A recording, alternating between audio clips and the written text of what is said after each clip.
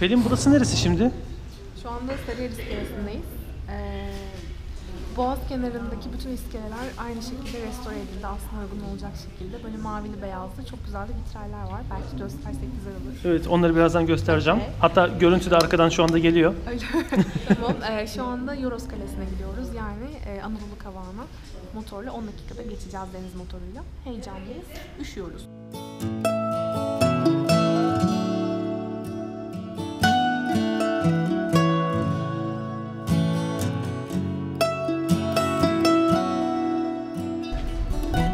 Nereye gidiyoruz? Yoros Kalesi'ne gidiyoruz. Götür bizi Pelin. Haydi buyurun. Şöyle bir güzel balık kokuları geliyor. Karşıda bir tane çeşme var. Oh suyu akıyor. Tabi musluktan akmıyor suyu şeyden akıyor. Mermerden geliyor direkt.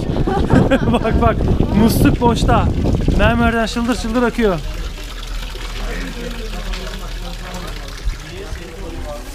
Her yerde balık ekmek yapıyorlar ha, midye falan. Ya bu burası olduğu gibi balık. Çok eğleniyoruz ya. Süper.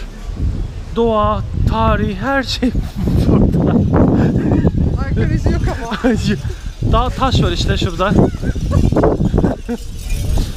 Budama mı, kesilme mi, imha mı ben anlayamadım bunun ne olduğunu. Ee, zannedersem devrilme tehlikesi varmış bunun. Bakın kenarlardan dayanak yapmışlar. Devrilme tehlikesi olduğu için muhtemelen. En sonunda da bu hale gelmiş. Hadi bakalım. Tabela bizi götürüyor. Hadi bakalım. Evet ilk yolu tabelamız. Yaklaşık 5 dakikadır yokuş çıkıyoruz. Denizden bayağı bir yükseldik yani. Yoros Kalesi. Kale göreceğiz.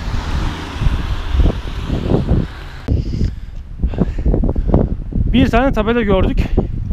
Kaleye gider. Biz de kaleye gitmek istiyoruz. Buradan çıkacağız ama ben şöyle bir şey düşünüyorum.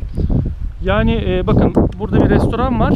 Mutlaka bunu restoran kendisi yazmıştır. Hani buradan çıkın restorandan da geçin diye. Çünkü ileride de restoranlar var ve merdivenler gözüküyor. Yani oralardan da aslında kaleye çıkış mümkün gözüküyor.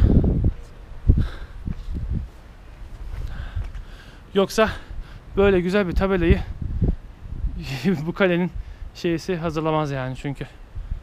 Restoranın işine benziyor bu. Burada da bir merdiven daha var ama tabii önü kapalı. Biz ilerleyeceğiz. İlerideki yerlere doğru gideceğiz.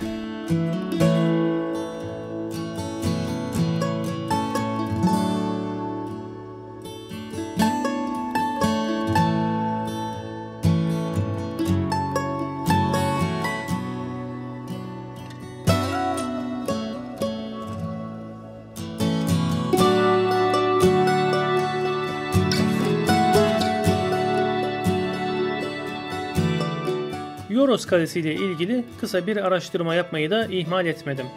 Kalenin bir Ceneviz yapısı olduğu sanılıyormuş ama halbuki öyle değilmiş. Kale Doğu Roma yani Bizans İmparatorluğu tarafından İstanbul Boğazı'na hakim olmak amacıyla yapılmış. Daha sonra Türkler tarafından fethedilse de sonraki dönemde Cenevizliler kaleyi ele geçirmiş. Fatih Sultan Mehmet devrinde Osmanlı'nın eline girdikten sonra bugünlere kadar bize ulaşabilmiş.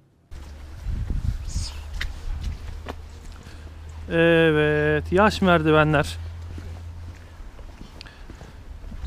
Valla düşmem demeyeceksin. En çok böyle yerlerde düşüyor insan. Aynen öyle kesin.